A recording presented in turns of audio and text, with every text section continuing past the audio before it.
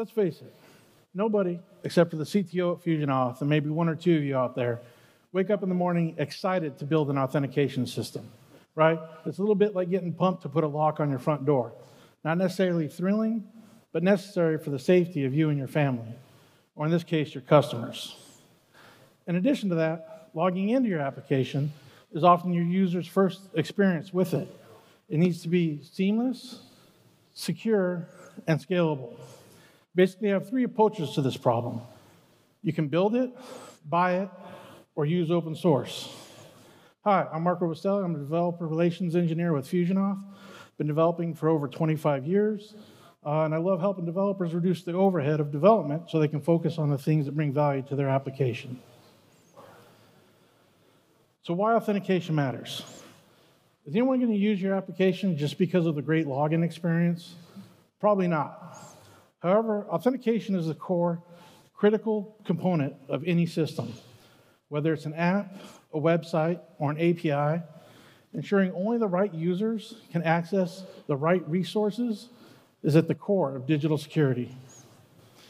Data breaches, unauthorized access, privacy violations, these are just some of the costly consequences of a weak or flawed authentication system. How costly? $100 billion. Just kidding. On average, for the global security breach, we're talking about 4 million euros. The question isn't if you need authentication, it's how you're going to implement it. Let's start with the build option. This is like cooking your own meal. You can season it, make it exactly how you want it, right? You control everything from the user experience, the workflows, to the security mechanisms. But let's be honest, it's not easy. There's a lot of things to get right password management, multi factor authentication, session handling, encryption, and more. Plus, it doesn't stop after the initial build. Just like you can't stop maintaining a house after it's built, you have to maintain your authentication system. Now, let's talk about purchasing authentication. This is a bit like ordering from a reliable restaurant. You don't have to spend all day in the kitchen cooking the perfect meal, picking out the ingredients, hoping it's safe, because a professional's doing it for you. When you buy an authentication system, you get a ready made, secure, and scalable solution maintained by experts whose sole function is to focus on security. This is particularly important, like when you think about the complexities of modern security. Stuff like multi factor authentication, single sign on, passwordless. Like these aren't real easy just to whip up yourself. Systems available for purchase feature enterprise level security features and the flexibility that developers need. While developers may have to learn a new tool, it's generally pretty easy to integrate it into your existing system. And then customize it for your business requirements and trust that security patches, feature enhancements are all handled by a dedicated team.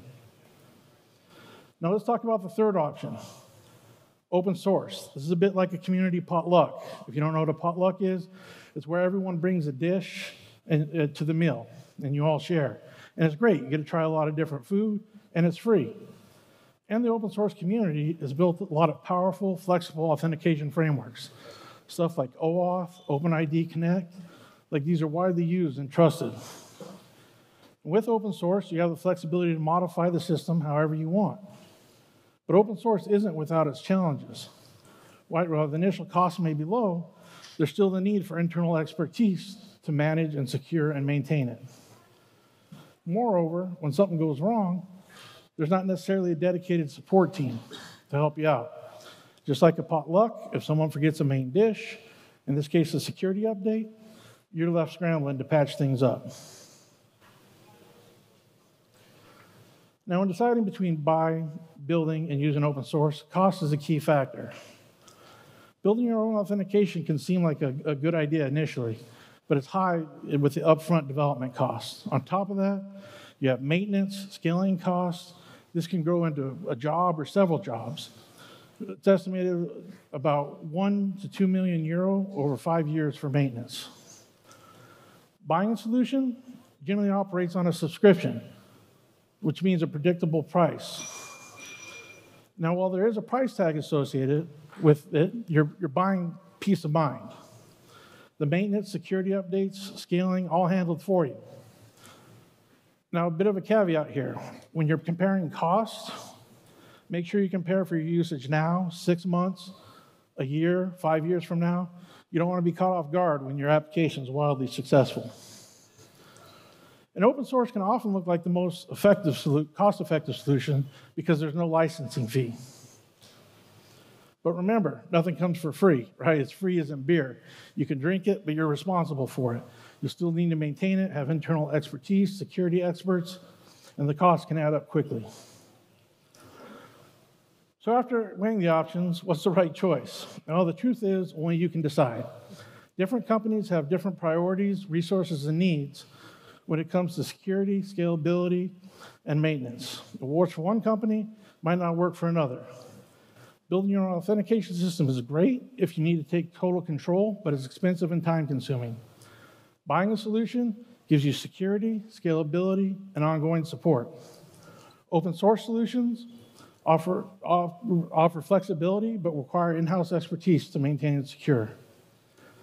Is building an amazing authentication system going to be a differentiator for your project? Probably not.